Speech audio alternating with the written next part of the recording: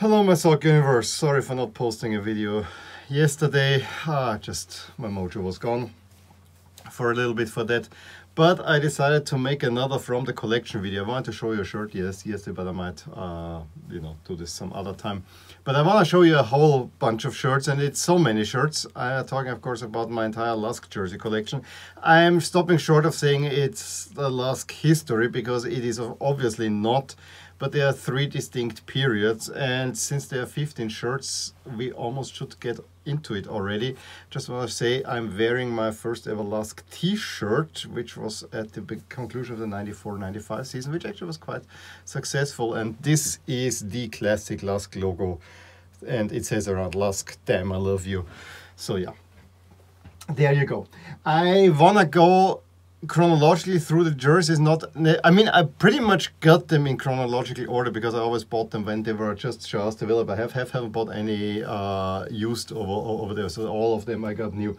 But i want to still start with um, one that i got in 2008 so not the first one i got but it is a replica of the first ever Lask jersey worn uh, which were issued when Lask was celebrating 100 years. The crest, of course, was not there because it's kind of the, not even now modern, but the modernized version with 100 years, the 100 year crest that they put on there. But what, what I like about this, with these replicas, they tried to go as realistic as possible. So this is a very heavy cotton thing. I don't think it was exactly done this way, but it gives you the feel. So, and the long sleeve with the um, stripes. I remember wearing this um, when I was a teacher in the US, and they all thought I'm, I'm a ref. I said, no, I'm not a ref. This is my team. They're playing in black and white stripes. So this is widely considered the classic look, and I think this is still one of my favorite. Uh, shirts of these to wear. Um, another uh, classic look and uh, claim to fame is of course Lask was the first team from Vienna, uh, not from Vienna, to become champions and actually win win the cup. It was in 1965, and they have uh, not won anything since. And this is a replica of their championship winning jersey, which is a little bit more uh, polyestery, but also cotton. It's a, a kind of different uh, approach and it gives you also a different approach to the design. Yes, we have the stripes, the Lask was not there, uh, it was all striped. But it gives you the white sleeves with it, which I think is also nice look. I would wear this probably equally often, uh, however this is a triple XL, so it's a little bit uh, white, but it's another really beautiful, really typical Lask jersey, and I am so proud because um, you know, the player of the century for Lask, Helmut Köglberger, who died a few year, years ago, he made a um, crib for little kids, and my daughter visited the crib for three months and so on. And he, he and his wife saw me in, in his shirt, and I had, I don't want to say a big relationship, but you know, we were on talking terms, and this was pretty, pretty, pretty cool. It's all down to this shirt. So let's go in the, yeah, of course, it has the numbering style. Num number nine, I don't know who wore it. I probably have to ask my father. But, you know, back, back then there were no fixed no numbers, but I find it funny. It's a black number with some, some, some white outlines. Really, really weird. There. Okay, let's get into my first ever Lask jersey. And before that, Lask was is never sorted with just one brand. So you actually will see a total of four brands, I think, in this.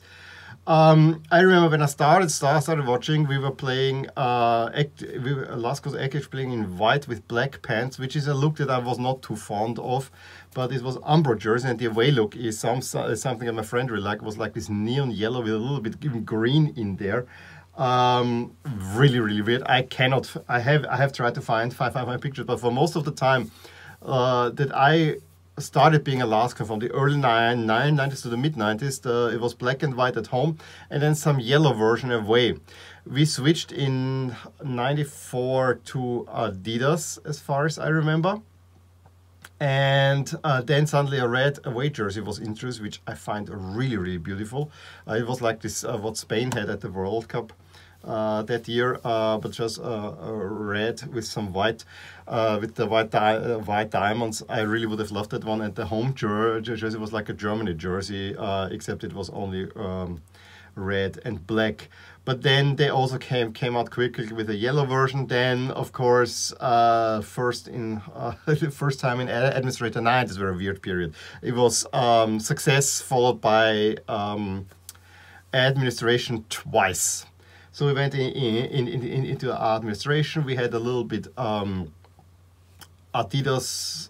Uh, we switched to Erima, and then in '96, a new uh, ownership took over. Everything seemed to be bright. There was like this was a well. Uh, he had his own bank. He was a Lask fan from all the time, and he secured us a contract with Reebok, Austria exclusive.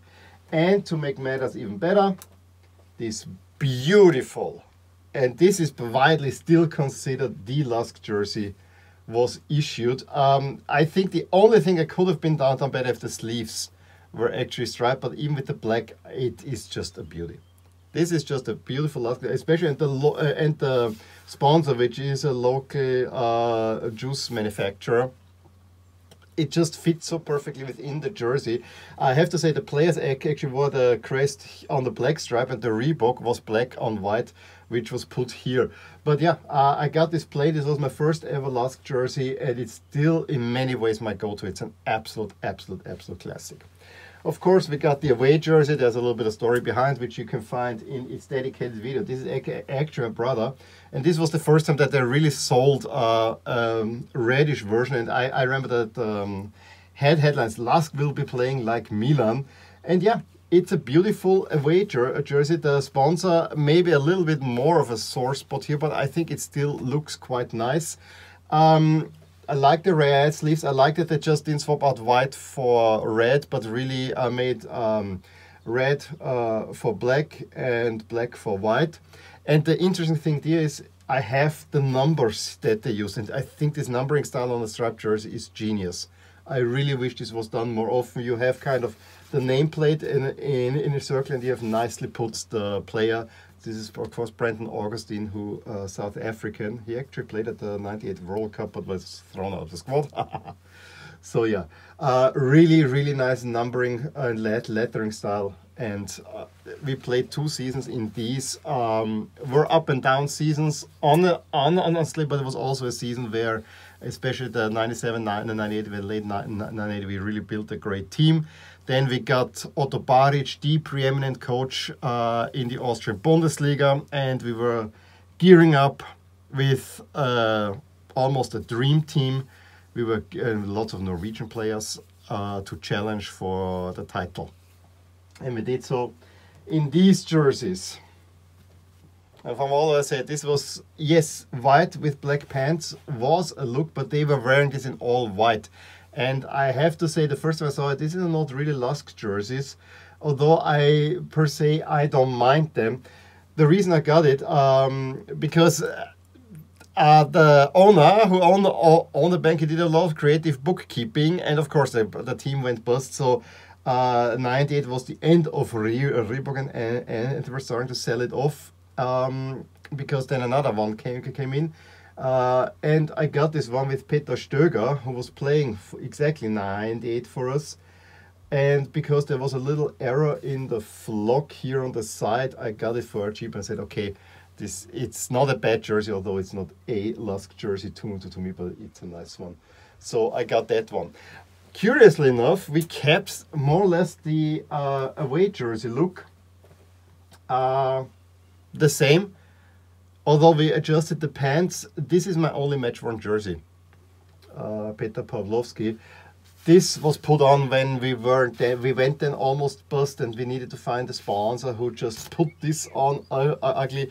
Uh, the bank is below this uh, here and then yeah, it's it's a little bit ugly, but it gives you also there's the league logo on there. Gives you a little bit idea of how uh, the jersey really looks like. Yes, the league logo was was actually here then and then the Reebok was put center. But this is actually player version, really a much better material than the other ones. So Puma came in, they issued first again a white version with just a little bit of black, like the Lazio kit uh, that they won, I think, the championship in. And they issued this away jersey which initially was not to be had for um, uh, commercially, but we made it to the all all the way to the cup final in that one. And so yeah, uh, they needed to issue it, and of course we we got it. I I, I think they issued it the next season or whatever. Uh, I know I hated it at the beginning, but I really really like it. The only thing is I wish that the crest would move down here. My uh, brother Florian uh, he caught a player's version of that uh, of that one at the last game of the 2000 season. Yes, in Vienna when we, when we won. But yeah, uh, it's probably me me my favorite away jersey because it has the red, it has the black, but it, it has a very special look. It's a way look, and of course, we not only reached a cup final, we beat in this one Rapid Vienna away from home in the semifinals. Still, my one of my favorite wins of Lask. Uh, then they came back with the, with the stripes. Puma came with this template, also worn by Lazio. Um, unfortunately, sponsor washed out a little bit. Uh, it's still a beautiful jersey. I've always thought that the stripes were a little bit too thick. This is more Barcelona look. But I think it's still a very, very nice jer uh, jersey. I got this in double XL. It fits over any jacket, so this is my uh, go-to winter look, and I, I really love it. Um, in this one, we, we, we did well. However, then the next season after, they switched the color to white with just two black stripes here. I, I, I actually like it. looks gray, but it's actually all black and white. I actually like this color a lot. Um, and then we got relegated in that in, in that one. So yeah. Then came the first real dark dark period. Was I well I told you so far with going twice in ad administration, we still were kind of managing to stay in the first league because everyone was a favorite with us. But we went into the second one, we could not really survive. We went to the second league and it was six long years. Um, 2006 7 we finally came, came back and at that point we got Ivica Vastic. I made a video about him. He was one of the players of Austria, especially in the 90s for Sturm Graz. But he had his last hurrah with Lask. And then we got back into the first league under a management that at that point was uh, tolerated again. It was a tennis promoter who uh, put, put, put, put up the money, but he was only taught to tolerate for that for two or three years where we played again in the first league and did well. And, and then we switched to Umbro, I think in the 2006 season. In the meantime, we had, I think, Homo, and I don't recall the others, but you know, we came with Umbro. And this was the jersey that came back, and this was a Christmas present for me that my parents sent to America. Overall, it's a nice look. I hate the, the way they treated the logo, which was now uh, this newish logo, but they took this off they put the, however, the coat of arms of Upper Austria on there, and I really like how they did it here, that it's really, really big. Nowadays, it's a little bit smaller. Also, find it funny that the sponsor is up there. I don't like necessarily the treatment of the stripes, but you know, you had to fit into this template, and of course, I got it with Ivica Vastic. The number washed out as well. Hurts a little bit. But yeah, it's a jersey that hangs up here behind the camera. It's a classic from that period where it really seemed to go up, but then it came down, down again because the president could hold on to the coach who went to Austria Vienna, and that kind of started a bad trend. However, in 2008 we also celebrated 100 years. I want they issued a gold jersey, which I really want to have, but um, I got what, what I got is a player issue black jersey without the league logo. That's the one thing that's missing. It's a really beautiful one. This is another one that I like to wear a lot. It has the 100 year logo, which looks a whole lot better than what was before. Uh, it has the crest of Upper, uh, the coat of arms of Upper Austria. Maybe the sponsor here is a little bit weird, but uh, also not, also not that bad. And then of course uh, AVE, it's actually a trash company that's here on the back. Uh, would be nice to have a number, but it turned it turns out this is actually a player issue shirt that they were selling. It's an XL, really really really nice one. Uh, probably my second favorite away jersey. And then became the other dark times. The management was really hated for a formal error. They didn't get the playing license for the league in 2013. And so we had to go for the first, we were already relegated a year before that. So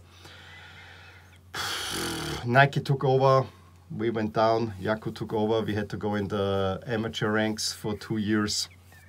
new management took over. Uh, I think we've stayed with Jako for a long time, and then I think just uh, when we got promoted, we decided to produce our own jerseys, which had their own problems because the sleeves were given away to sponsors, which first were, was another bank um, that had yellow sleeves.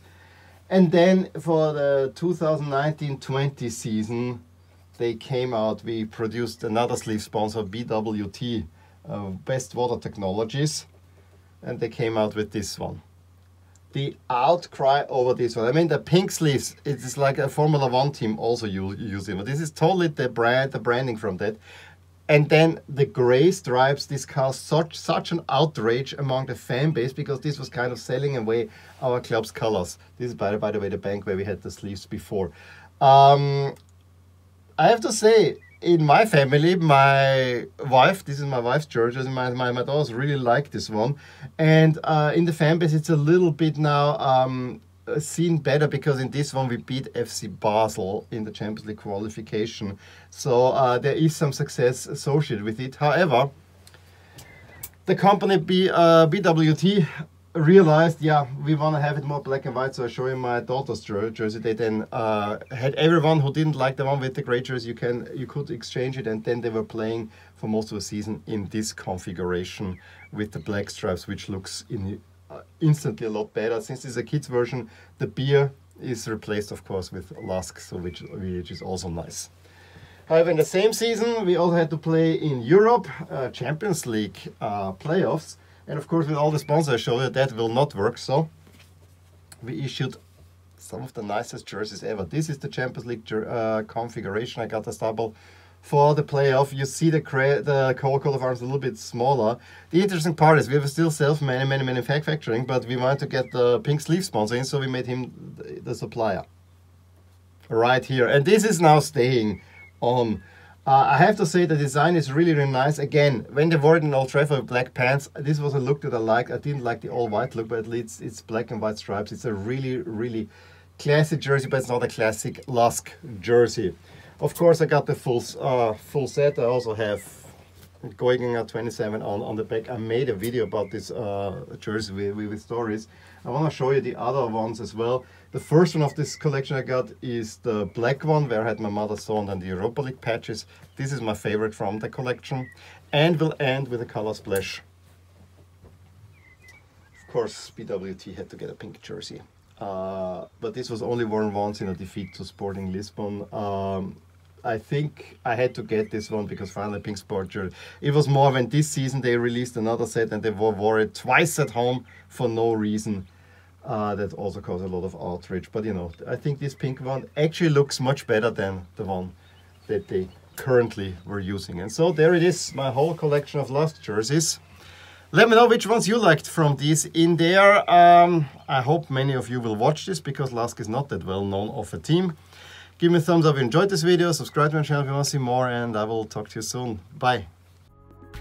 Hey there! I really hope you enjoyed this video, and if you did, here are some videos and playlists that you might enjoy too.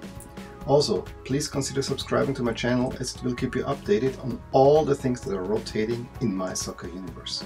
And with that, to wish you a wonderful day. Bye!